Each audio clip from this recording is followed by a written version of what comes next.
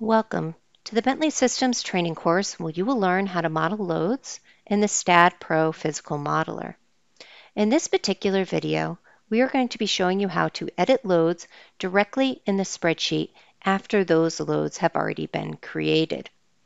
Now the way the loading spreadsheet works is this spreadsheet or these spreadsheets will display the loads according to the currently selected load case. To select a different load case, we can go to the Loading tab in the ribbon toolbar and select the load case we're interested in. For this exercise, we will select the live load case, and then anything I see in the spreadsheet area will be the live loads. Now let's go ahead and take a look at some of the loading spreadsheets. I'm going to select the Spreadsheet tab in the ribbon toolbar, and I'm going to start with the Nodal loads. Here I can see all of the loads that are currently assigned to the live load category as nodal loads. If I wanted to recreate these loads, I can go ahead and use the same modeling tools I had performed in a previous exercise. Now, as you can see, I have several different point loads that have already been assigned to some nodes in the model. And I've decided at this point in my workflow that I want to change the magnitude of loads. I don't want to change anything else, just the magnitude of load. So what I'm going to do is I'm going to go to my first field for the FY category. And I'm going to change its value. I'm going from negative 5 kips to negative 8 kips. I'm going to enter negative 8 and hit enter on my keyboard to go ahead and accept that change. Then I'm going to move my keyboard back into that field. Now what I want to do is I want to copy this value down to the rest of the currently selected node loads. To do that, I can go to the Data tab in the ribbon toolbar, and you can see several different types of spreadsheet tools, and these tools will help you to go ahead and modify information in the spreadsheets.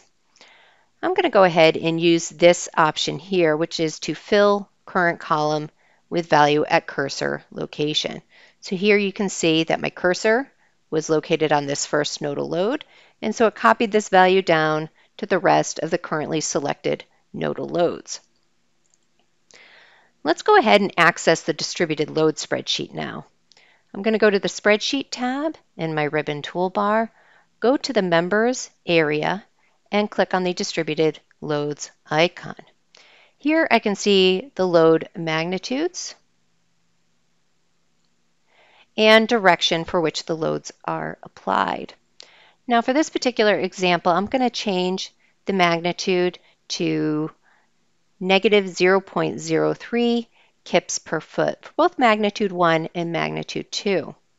So I'm going to enter this is the same way I had previously, hit enter, and then copy this value down.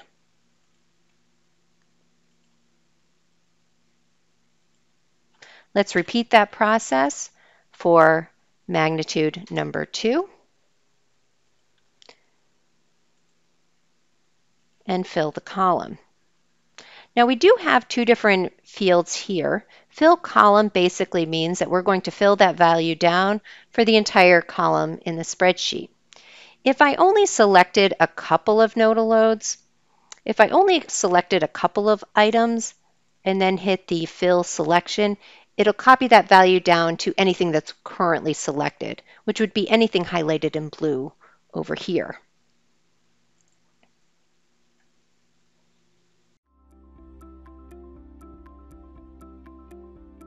If you found this video helpful, please give it a like. If you want to see more such series, consider subscribing to our channel. Thank you and see you next time.